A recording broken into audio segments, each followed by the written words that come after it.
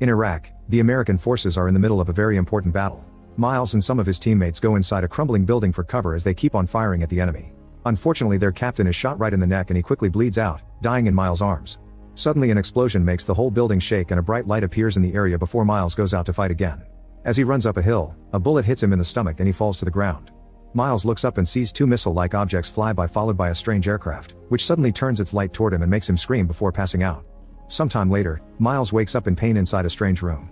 There are no windows or doors, its gray panels covering every inch from corner to corner. Miles forces himself to stand up and take a closer look at the wall, but his wound is bleeding heavily and he falls again. He cries out for help but nobody answers, so he uses his emergency supplies to clean the wound and wrap it up. Then Miles tries using his radio, however it isn't working. When he looks up, he sees the word abandon on a wall, which wasn't there before. He tries asking for help again and this time he tries the few words he knows in Arabic, to no avail. When he looks again, the wall now says abandon all and the floor shows save the sinner's soul. Miles takes another look and now the phrase says abandon all hope. Starting to feel dizzy, Miles takes off his backpack and his clothes, realizing the temperature in the room is going up rather quickly.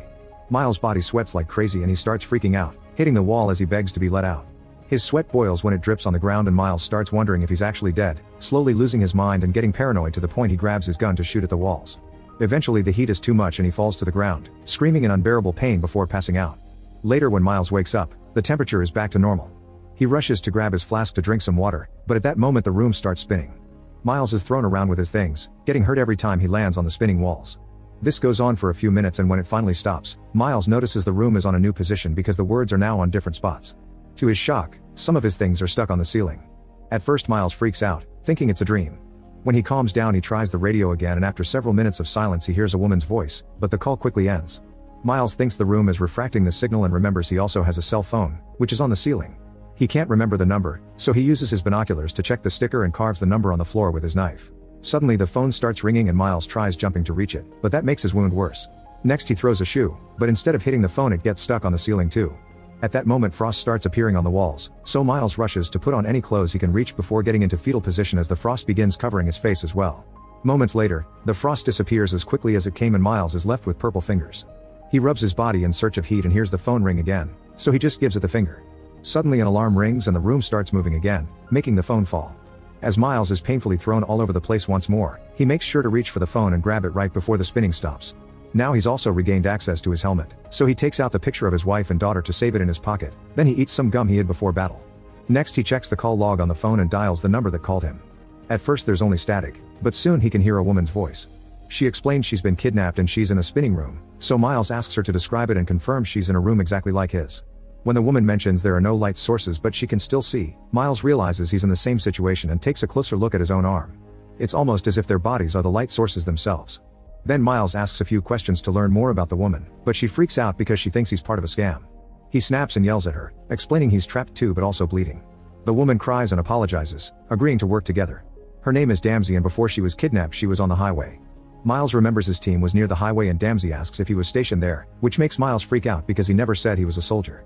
Damsey assures her she guessed based on the questions he asked and the way he speaks. At that moment Damsey stops speaking and grunts in pain instead. Miles' tags are suddenly pulled back and the chain starts choking him as an invisible force opens his arms as well, making him drop the phone. His body starts floating and a bright light appears, pulling all his limbs before dropping him to the ground.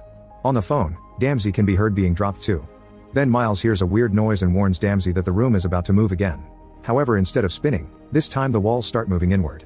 Miles panics and tries to push a wall, only to fall and pass out. When Miles wakes up, he discovers the room has shrunk. He has a panic attack as Damsey calls again, telling him her room has shrunk too.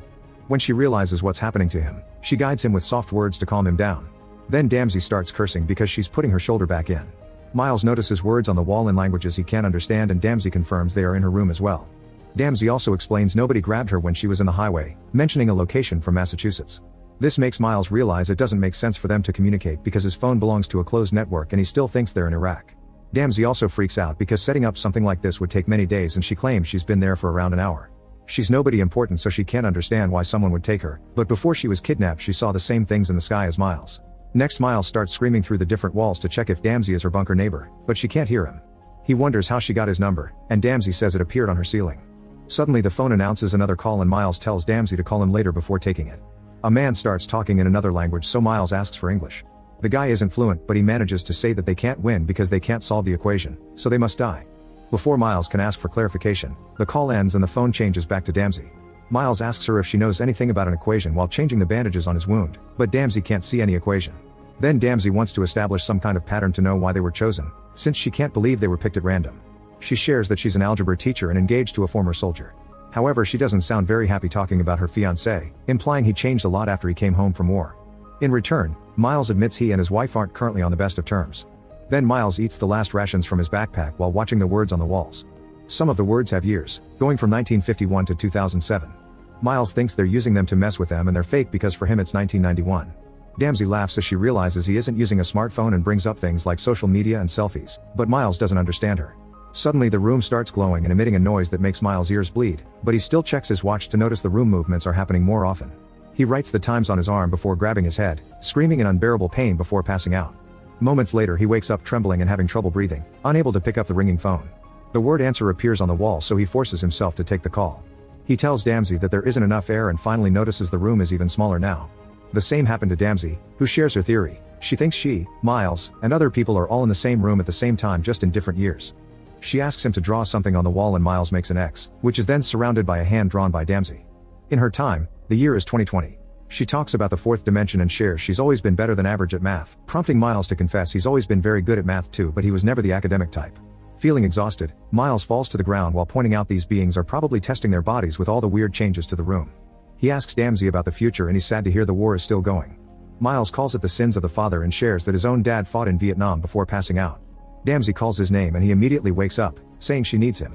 At that moment, Miles notices that his Arabic dictionary dropped out from his bag and some of the symbols match the ones on the wall. He starts translating the message and writes it on the floor so Damsey can see it too, and the final result is an equation. Damsey recognizes it as the work of a famous mathematician who studied higher dimensions, but he never got to finish it. Another trapped person must be a mathematician and wrote it as a clue, which makes Miles and Damsey realize the kidnapped people are all connected to math in some way. Suddenly someone starts scribbling on both the Arabic equation and the translation to cover them, so Miles hurries to write what he remembers on his arm. Then Damsey confesses that she works as a teacher but she actually has a very advanced degree in math. Her fiancé got her the teaching job because he doesn't like it when she talks smart. Damsey asks Miles if the war has changed him and made him hurt someone he loves, so he explains war transforms humans into animals. Guessing Damsey's fiancé must be abusive, he shares that his own dad used to beat his mom but Miles couldn't do anything because he was too young. The day he tried to stop his dad, the man threw Miles on the pull-out bed and shut it. He couldn't move or breathe, he could only hear his dad beating his mom up. Afterward Damsey concentrates and manages to remember the equation, so Miles asks her to write it on the wall before another change happens. Damsey struggles because she's using her keys to scratch the wall, which takes time. At that moment the room starts shaking and Miles' hands are forced to touch the ground. He tries to remove them but he can't, it seems the gravitational pull has become quite stronger. Soon Miles' knees are pulled down too and the bullet is pulled out of his wound before his face hits the ground as well, making him bleed even more. Miles screams as his entire body suffers the force of the pull, but in just a few minutes is over. A trembling Miles reaches for the phone and curses when he sees the cracked screen. Then the alarm rings and the room starts spinning again. Since it's smaller, Miles can jump from wall to wall instead of being thrown around. The spinning doesn't last long this time and the light goes out for a few seconds. When Miles can see again, he notices the room has shrunk even more. As he trembles and reminds himself to keep it together, Miles tries the phone. At first nothing happens and he's ready to give up, but eventually Damsey answers.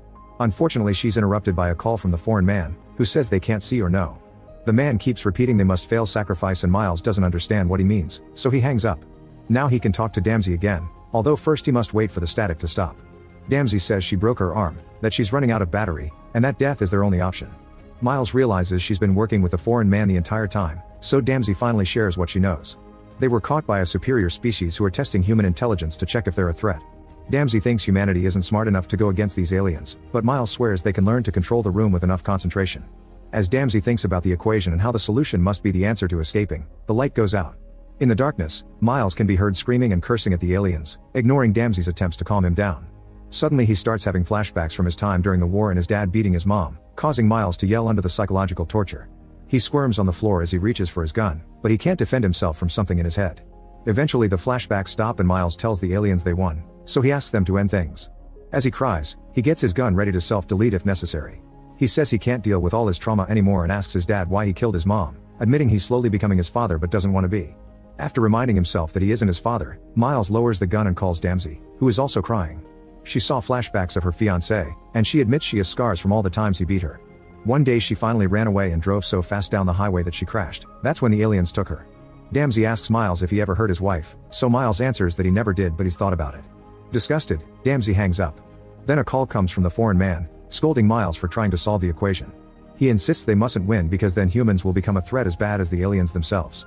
These creatures shouldn't see Earth as a threat either or who knows how they could react, it's better to pretend to be innocent lab rats. Suddenly the alarm rings and the room starts shrinking again.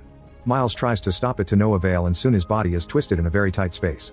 At that moment Damsey calls again and asks the same question, so Miles swears he never hit his family. He had urges but he fought against them to avoid being like his dad. Miles thinks he's sick and that's why Damsey should be the one to solve the equation. She's the better person and the one that deserves to get out. He apologizes for who he is and for what Damsey went through, and Damsey forgives him. Miles asks her to find his family and tell them he loves them and they deserve better. Now Damsey has the strength to finish the equation, using the time between room movements as clues. The answer is 1, so Damsey tries concentrating to take control of the room and spin it one time, but nothing happens. Damsey thinks about it and realizes that one person alone can't be a threat, the answer means mankind is one. The aliens want to see if humans are capable of dropping the fighting and working together. Miles concentrates and starts pushing the room too so he can help Damsey, and the duo screams together until the room suddenly explodes into a bright light. To their shock, Damsey and Miles see each other touching hands and floating in the light. The wall panels float around them too, showing all the other people that were kidnapped. This means they've solved the equation and freed all the victims. Damsey and Miles say hi to each other and share a smile before they disappear in the light. Seconds later, Miles appears back in Iraq. He starts making his way back to his team, only to hear sirens wailing and see planes flying by. When he finds the American troops, they're looking at something dangerous in the sky. Make sure to subscribe and turn on notifications so you can watch more videos like this. Thanks for watching.